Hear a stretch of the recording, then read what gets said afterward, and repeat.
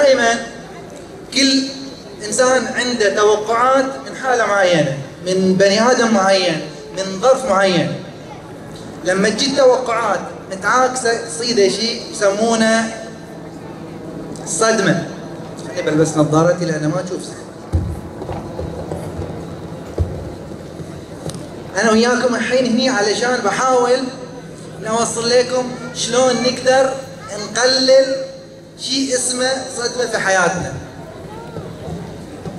موضوع التوقعات بحصره في فترة سريعة كذي على أساس توصل الفكرة بشكل بسيط.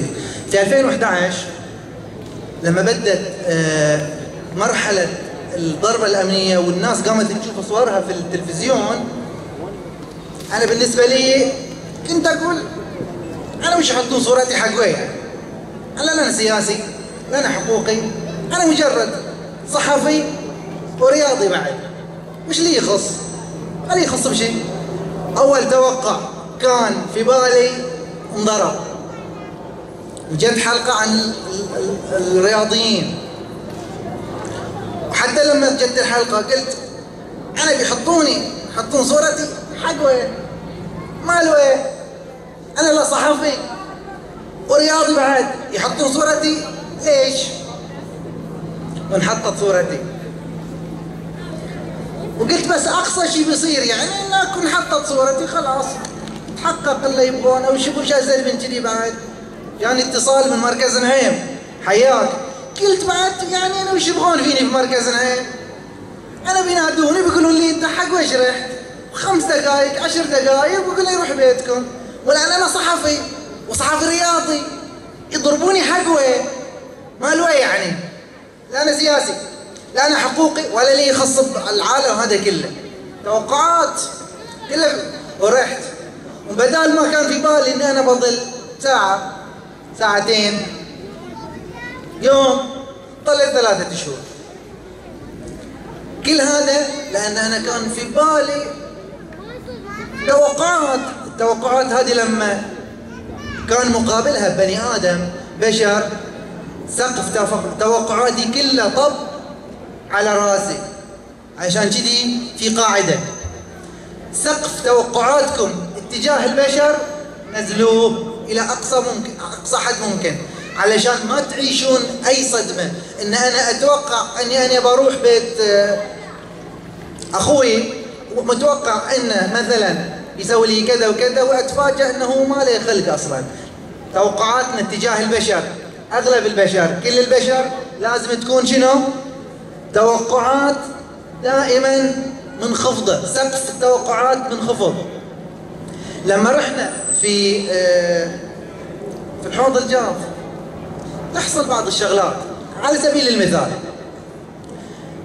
من ضمن التوقعات اللي كانت في بالي إن الحين إحنا في يعني ضربة أمنية في 2011 ضربة أمنية وأكيد الناس اللي بنجي بنشوفهم إيانا في السجن أكيد يعني ناس شباب وعضلات والناس اللي مشلخين الدنيا.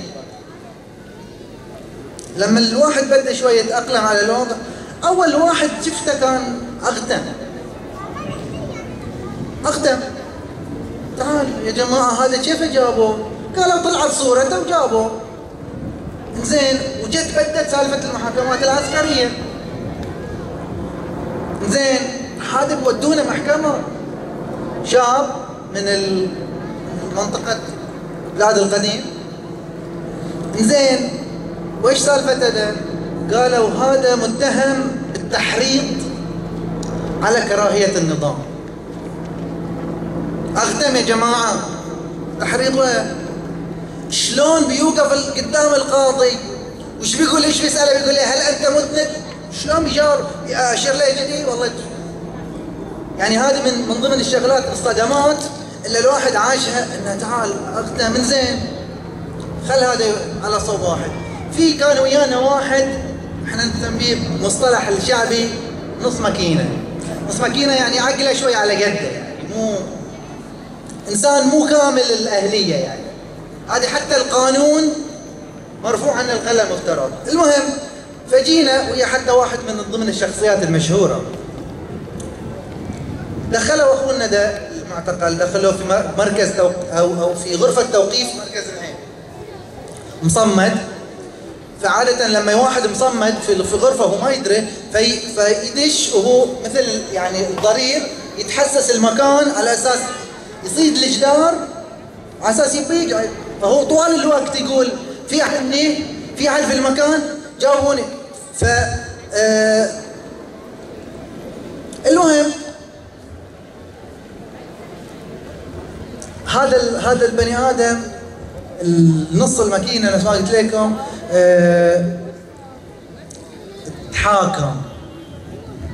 مجنون قانون ما يسمح له عموما نرجع إلى موضوع التوقعات. توقعاتكم. يعني لا حد فيكم يجي في يوم من الأيام يقول إن إحنا نتوقع من شخص غني أو قوي أو عنده كل الإمكانيات إنه ما يخذلني شيلوا من بالكم في حالة واحدة بس إلا أنتم تعطون توقعات كاملة 100% شنو هذه الحالة؟ هي الحالة اللي الواحد فيها يرتبط بالله سبحانه وتعالى سواء كنت ضعيف مكسر أعمى أعرج في أي شيء التوقع اللي لازم سقفه يكون أعلى ما يكون؟ ولما تكون في علاقتك بالله سبحانه وتعالى. عموما أنا أتمنى أن تكون فكرتي وصلت لكم كلكم. توقعاتنا تجاه البشر نزلها أقصى ما يكون. شكرا لكم ونشوفكم إن شاء الله في المناسبات الجايه